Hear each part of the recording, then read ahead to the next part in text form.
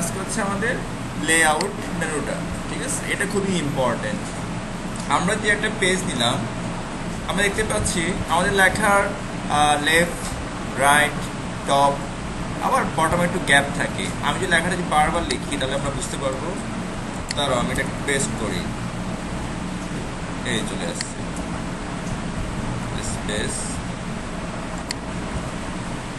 ওকে এটা আমার দরকার নেই।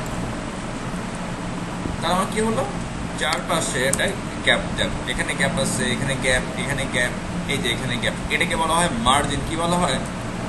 মার্জিন বলা হয় কন্ট্রোল যে জাস্টিফাই এটাকে বলা হয় কি?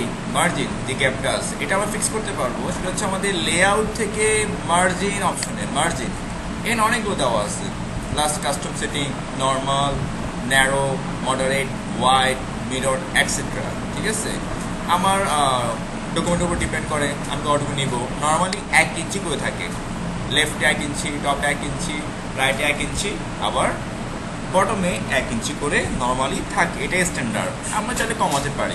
সেটা কীভাবে এইখানে কি? ইঞ্চি দেওয়া আছে কিন্তু। আমি যদি ন্যারো দিই, তাহলে আমার কি হয়? মার্জিন অনেক কমে যায় দেখো। কমে গেছে। মার্জিন অনেক একদম কমে যাবে, ঠিক আছে? মার্জিন গ্যাপটা কমে যাবে, কিন্তু এটা স্ট্যান্ডার্ড না। নর্মাল হচ্ছে নর্মালটা ইউজ করা। আমরা চাইলে টপ বটম এক ইঞ্চি থাকে, এটা স্ট্যান্ডার্ড ভ্যালু এই যে লেফট আর রাইট কমাতে পারি কিছুটা। সেক্ষেত্রে আমরা কী করব? এই যে কাস্টম মার্জিন তুমি একটা করে ইউজ করো। এখানে ইঞ্চি দেওয়া আছে, কত ইঞ্চি বাই কত ইঞ্চি কাস্টম মার্জিনে যাও। এখানে তুমি টপ বটম লেফট রাইট কমাতে পারো। লেফট থেকে আমি জিরো পয়েন্ট সেভেন ইঞ্চি থাকবে।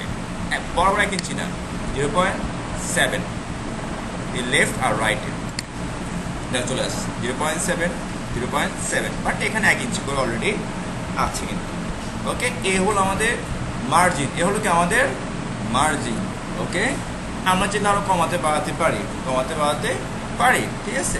এটা কাস্টম মার্জিন থেকে। আমি যে নামে উপরে আরও জায়গা দরকার, তাহলে একটা কাজ ক্লিক করো। টপে গিয়ে ওয়ান পয়েন্ট ফাইভ ইঞ্চি দিয়ে দিতে পারো। ওকে তারপর ওকে দাও। ওয়ান পয়েন্ট ফাইভ চলে আসছে কিন্তু। ওকে আর এখানে ওয়ানই থাকবে। এভাবে আমরা মার্জিন ব্যবহার করতে পারি। খালি অংশ দিতে পারি। এরপর হচ্ছে আমাদের অরিয়েন্টেশন আমাদের ব্যাপার আছে। হ্যাঁ এই যে দেখতে পাচ্ছি, এটা হচ্ছে এটা, আর আছে। আর নেই। দেখো নিচে লেখা যদি লম্বালম্বি হয় এটাকে বলি পোর্ট্রেট কি বলি আমরা? পোর্ট্রেট আর আর হয় কি বলি আমরা? ল্যান্ডস্কেপ কি বলি? ল্যান্ডস্কেপ এটা কিন্তু আরই লেখা। যাই হচ্ছে না ঠিক আছে? এই সিস্টেমটা আমরা করতে পারি। কীভাবে? এই যে অরিয়েন্টেশনে যাও। আমি পেজটা ছোটো করে দেখো। একটাই পেজ পোর্ট্রেট অলরেডি আছে। অরিয়েন্টেশন ক্লিক করলাম ল্যান্ডস্কেপ দাও আর আরই হয়ে গেছে। যদি পোর্ট্রেটটা দাও লম্বা লম্বি হবে। লম্বা লম্বি যে কোনো ডকুমেন্ট লেখা যায়। আর পোর্ট্রেট কেন? এই যে শিট তারপর সার্টিফিকেট তৈরি করার জন্য। এটা লাগে আমাদের, ঠিক আছে? কোনটা? ল্যান্ড স্কেপ এই যে আড়াআড়ি। ওকে আর যে কোনো ডকুমেন্ট লিখে আমরা পোর্ট্রেট এটা খেয়াল রাখতে হবে। লেখা কিন্তু একভাবে থাকবে। লেখা চেঞ্জ হবে না। পেজটার কী হবে? আঁকা চেঞ্জ হয়ে যাবে। এরপর হচ্ছে আমাদের সাইজ এটাও ইম্পর্টেন্ট আমাদের বেশি লাগে কি, সেটা হচ্ছে লিখি, দেখেন, আমাদের বেশি সবচেয়ে লাগে এক হচ্ছে এ ফোর যাকে আমরা আবার লেটার বলি। লেটার আর হচ্ছে বি ফোর যাকে আমরা বলি কি লিগাল কি বলি আমরা? লিগাল বলি, ঠিক আছে? A four B four A four B four এই দুইটাই সেম ডিফারেন্টটা কি? সাইজ একটু ছোট বড়। সাইজ একটু কি? ছোট দুটো কিন্তু দুটো কিন্তু একই জিনিস। যখন পেপার আসছে, তখন এ ফোরটা হয় একটু বড়, আর লেটার না হয় একটু বড়। আমরা যে পেপারটা ইউজ করি, এই যে এটা। হয় এ ফোর না হলে লেটার সাইজ এ ফোর অথবা কি? লেটার সাইজ এর সাইজটা দেওয়া দেয়, এখানে দেওয়া, দেখো। লেটার কত? দেখো তো eight point five inch by এগারো ইঞ্চি। ঠিক আছে? আর এ ফোর দেওয়া দেখো তো eight point two seven layer থেকে একটু ছোট না বার, দেখো এবার এগারো দশমিক উনসত্তর ইঞ্চি। এটা একটু বড়। দুটাই সেম ডিফারেন্টে কি সাইজ একটু ছোট, বড়। ওকে এটা কিন্তু A four size maximum A four সাইজে হয়। এ ফোর সাইজে আর বাকিগুলো কি হয়? বি ফোর মানে দলিল আছে না? দলিল কিসে হয় বি ফোর আরও পাওয়া দরকার। আর কি আছে? বিফোর অ্যাপ্লিকেশন দরখাস্ত। সরকারি দরখাস্ত। কিসে হয় সিবি হ্যাঁ ঠিক আছে, কিসে হয়? বিফোর ঠিক আছে? এই দেখো এখানে। আমি যদি পেজটা আরও বড় করতে চাই, আমাদের এখানে দেখো সাইজ এখান থেকে দেওয়া আছে লিগাল দেখো বড় হয়ে স্পেসে দেখো। এটা অনেক লম্বা হয়ে গেছে। তুমি এ ফোর দাও, অথবা লেটার দাও, ছোট হয়ে যাবে। তুমি হয় লিগাল ইউজ করো, অথবা কি ইউজ করো। বিফোর বিফোর এই বিফোর পাশে একটু বড়, লম্বা ঠিক থাকবে ওকে এছাড়া আরও অনেক সাইজ আছে বাট আমাদের দেশে পেপারগুলো ইউজ হয়। না কত দোকানে দেখছ, এবার এখন পেপার পেতে। তোমার লাগলে পেপার কেটে নিবা। পেপার নিজে কাটতে হবে। পেটা নিবে। সমস্যা নেই। পেপার নিজে কাটতে হবে, ঠিক আছে? ওকে তবে ইউজ সবচেয়ে বেশি লেটার এ ফোর অথবা লিগেল বি ফোর একটা ইউজ করো, ঠিক আছে? ওকে এ হলো আমাদের সাইজ এরপর হচ্ছে আমাদের কলাম। এরপর হচ্ছে আমাদের কি বলতো? কলাম। কলামটা অনেকে কোয়েশ্চেন তৈরি করতে লাগে। কি, প্রশ্ন তৈরি করতে লাগে। তবে আমি এটা সাজেস্ট করি না। আমি সাজেস্ট করি টেবিল দিয়ে করার জন্য। ধরো লেখাটা আমি দুই কলামে করব। আমাকে সেট করতে হবে। এরপর কলাম কি ইউজ করতে হবে? আমাকে কলাম ইউজ করতে হবে। এখানে গিয়ে টু দাও। দুটো কলাম হয়ে গেছে। থ্রি দাও। তিনটে কলাম হয়ে গেছে। তারপর হচ্ছে লেফট দিলে কি হবে? লেফটে কম লেখা রাইটে বেশি লেখা থাকবে। দুটাই কলাম হবে। আর হচ্ছে কি? রাইট লেফটে বেশি রাইটে কম লেখা হবে দুটোই কলম হবে। এগুলো জাস্ট স্টাইল এগুলো হচ্ছে জাস্ট স্টাইল বানানো ওকে এরপর আমার, আমি এটাকে একটা কাজ করে ওয়ান দিয়ে দিই। তারপর হচ্ছে আমাদের ব্রেক ওকে পেজ কলাম, কম দাম আগে একটু নিলাম ঠিক আছে? টেক্সট র্যাপিং এই র্যাপিংটা আমি ছবি দিয়ে করি, এই যে পিকচার ঠিক আছে? Text wrapping next page continuous even odd প্রায় সিমিলার ইভেন অর্ডের মানে কি কেউ জানো ইভেন অড ইভেন অড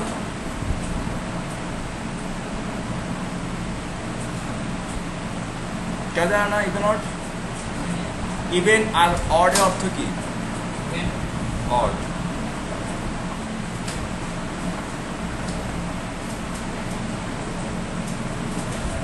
আচ্ছা যদি বাংলা বলি হ্যাঁ আমরা জানি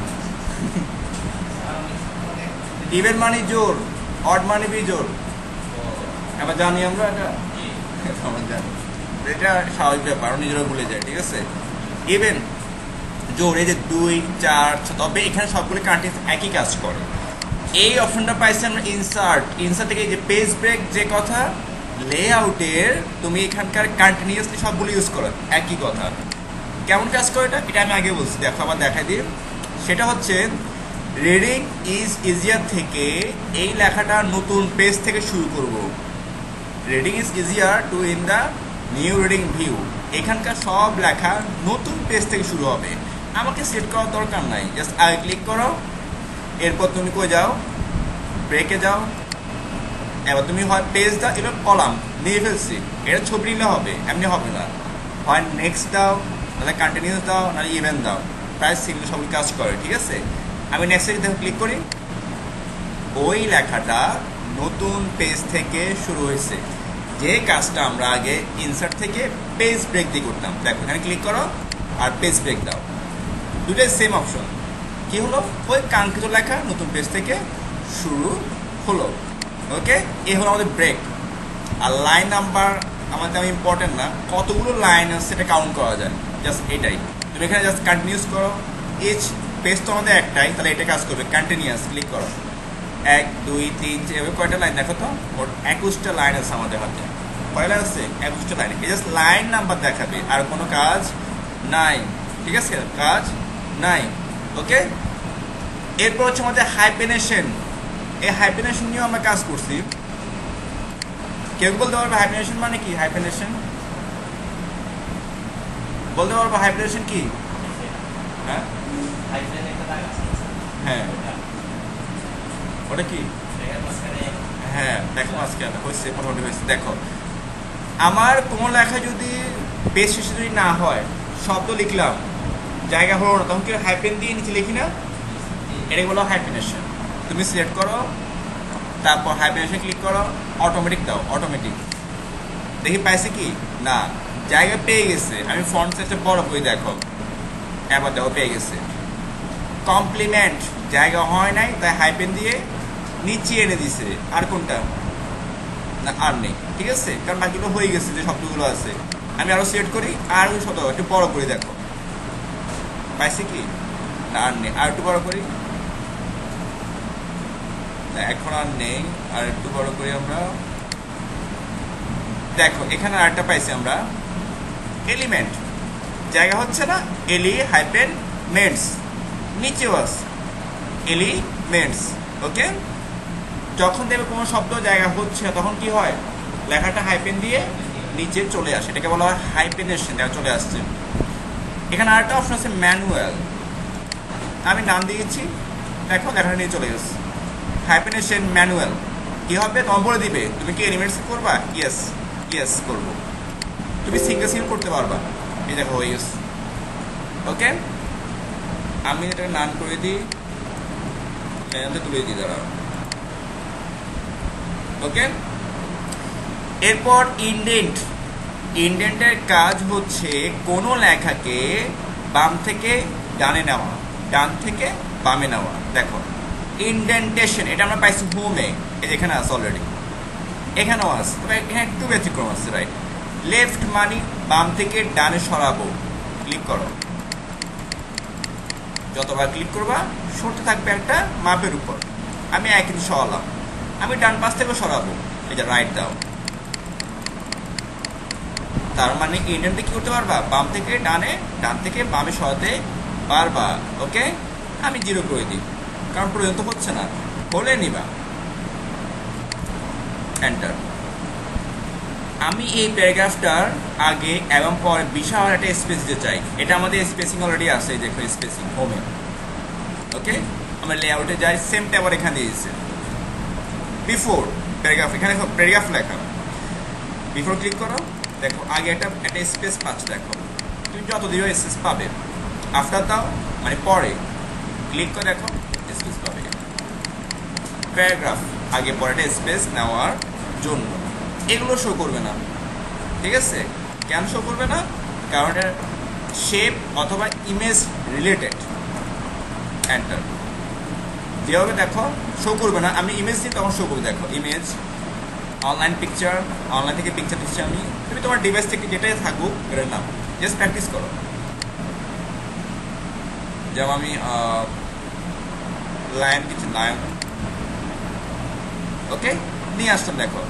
ছবি যখন নিলাম লেআউটে যাও, দেখো অন হয়ে গেছে। এগুলো অন হয়ে গেছে। আমি যে আরও একটা নিই, এগুলো অন হয়ে যাবে। ঠিক আছে? দেখো পজিশন তুমি এই ছবিটা পজিশন বলে দিতে পারবা। ছবিতে ক্লিক করো পজিশন দেখো। তুমি ছবি কোন পজিশন রাখবে দেখো। আমি এই পাশে রাখব বা নিচে রাখব। এটা চলে আসছে। র্যাপ ট্যাক্স দেখো। খুবই ইম্পর্টেন্ট এখন ট্র্যাকও চলে আসছে। র্যাপ টেক্স এখন দেখো ব্রিং ফরওয়ার্ড স্যান্ড রেকর্ড চলে আসছে। র্যাপ টেক্স তুমি কি স্কোয়ার রাখবা? আর টাইট আর থ্রো এখানে তুমি চেঞ্জ দেখতে পাবা। থ্রো বা টপ বটম লেখার টপ বটমে আসছে। বিহাইন্ড টেক্স মানে লেখার পিছে চলে যাবে, দেখো। ছবিটা লেখার পিছে। আর হচ্ছে কি ইন ফ্রন্ট অফ টেক্স লেখার উপরে চলে আসবে। ওকে এই যে এখন খুব সহজে মুভ করতে পারবা। সেম কাজটা আমরা করতে পারি। ধরো, ছবি আমি আর একটা দেখো। এগুলো বোঝার জন্য আমি আরও নেই। তুমি যখন ছবি নাও, এই অপশনগুলো পিকচার ফরম্যাটেও সেমভাবে আছে, দেখো। একই অপশন বারবার আছে। ওকে আবার লেআউট অপশনগুলো আবার দেওয়া আছে। সেম কাজ। ওকে দেখো, ছবি আমি আটে নিচ্ছি। আচ্ছা আমি এটা এখানে নিই, দেখো। আমি আরেকটা ছবি নিই, সেটা হচ্ছে এখান থেকে অ্যানিমেলস নিচ্ছি। যেমন ধরো হর্স লোডো আচ্ছা এটা সেটাস তাই জন্য আমি আবার ক্লিক করি। অনলাইন অ্যানিমেলস যে হর্স এটা দিতে পারি। এবার চলে আসবে। সিলেক্ট থাকলে সময় ঝামেলা করে ওকে বড় হয়ে গেছে। আমি এখান থেকে এটা র্যাপ টেক্সট ক্লিক করো। র্যাপ টেক্সটটা হবে, ধরো in front of text okay এটা চলে গেছে এটাকে আবার ছোট করতে পারবে ছোট করতে পারবা। মুভও করতে পারবা। নিচে নাও ড্রাগ করে।